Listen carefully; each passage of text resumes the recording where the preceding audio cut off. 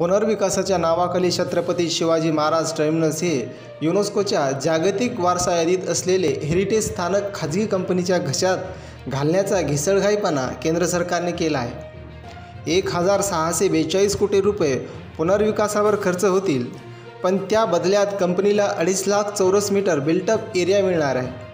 केंद्र सरकार साठ वर्षाचा करार कंपनीशी करणार आहे. येत्या सप्टेंबर महिन्यात याबाबतची निविदापूर्व प्रक्रिया सुरू होणार असल्याचे इंडियन रेल्वे स्टेशन डेव्हलपमेंट कॉर्पोरेशनचे व्यवस्थापकीय संचालक एस के लोहिया यांनी सोमवारी दिल्लीतून घेतलेल्या वेबिनारमध्ये स्पष्ट केले. या स्थानकातील हेरिटेज वगळता इतर सर्व इमारतींना भायखेळ आणि वाडी बंदर येथे हलवण्यात येणार आहे.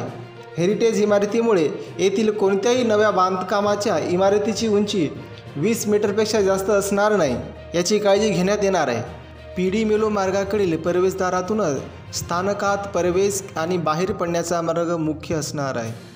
केंद्र सरकारने रेल्वे स्थानके इंधन कंपन्या बँका एअर इंडिया एल आय सीसारख्या सार्वजनिक कंपन्याचे खाजगीकरणाचा सपाटा लावल्याने कर्मचारी कपातीचा धोका निर्माण झाला आहे.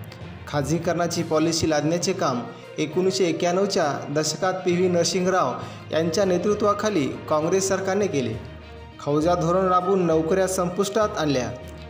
तीच नीती आज भाजपाकडून राबवली जात आहे. यामुळे काँग्रेस व भाजपाच्या नीतीमध्ये कुठलाही फरक दिसत नाही. यामुळे अशा ब्राह्मणवादी पक्षापासून सावध असायला हवे अशा प्रतिक्रिया लोक व्यक्त करीत आहेत.